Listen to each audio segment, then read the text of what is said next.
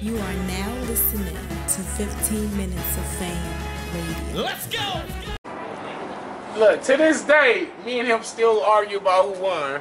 A lot of people got JC beat me. A lot of niggas got Hey, me listen. beat JC. Hey, listen. Danny, Danny. He got the first round.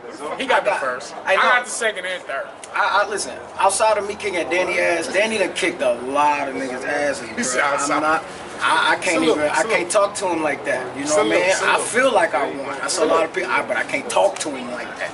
If Danny Salute. looked at me and was like, "Let's go again," I'd be like, "Just leave it where it's at." Leave You it there. do Leave it some shit. Yeah, I don't want that. I don't know want that again So- either, man. Nah, man. He respected Danny, bro. Listen. yeah, A1. A lot of niggas give this is this is uh, a backhanded compliment. I'm gonna say it before I give it. Yeah. A lot of niggas give head ice the flack or the old jokes that they should be giving Danny, but they don't because they don't realize Danny is the actual age that he say he is when he battle. He talk about how he right, but he's so active that we don't notice this. Yeah. So Yeah. we gotta give him those type, those type of flowers. Like he make he making he, he doing what Vince Carter doing in the NBA times fifty.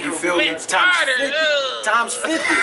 All right, Times Times fifty. We in battle rap. You know what I mean? So you don't gotta jump in. You know what I mean? He said it was a Listen. backhanded compliment when I he started the gave him- I gave combo. him- because no, I feel like I, when I when I hear the jokes I'm to like, Ice, I be uh, like, be like, they, they ain't the same motherfucking- age. They don't be saying the same shit today, bro. I'm like shit, Carmelo now. Like I'm. I'm getting past my prime. Nah, see, You that's the what? thing, you can't I say still that. got bars at You can't 40. say I- that. listen, This- this sport is really so think delicate. about it like this. The At sport's so delicate, 40 man. years old, for me to still be able to have this 40, energy and this level of bars is amazing. And keep up with the young youngest. keep up with the young guys. Yeah, yeah, I yeah. battle He's- the he's pa- he's a franchises, lot of- he's a lot- franchise, there's a lot of young Drez, Bankhead. I done battled the young dudes. I battled the veterans. I bring the I bring the point up to say it's a lot of niggas that send the jokes his way that can't really compete with him.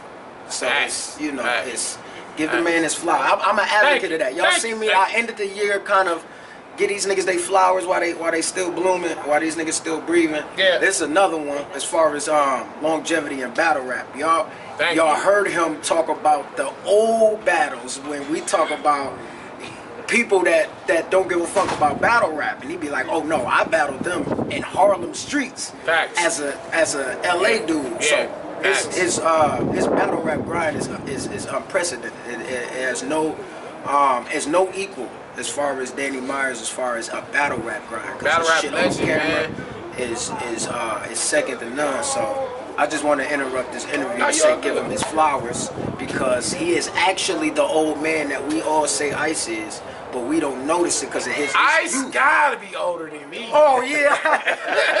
hey, I'm just you know in the realm check of the jokes. out. In the realm of the jokes, he he making he making young dogs look kind of crazy. Like you know what I mean? So, secretly, I've had a The extra round the fountain of youth. for JC.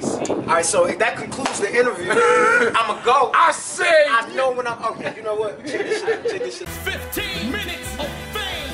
You are now listening to 15 Minutes of Fame Radio. Let's go!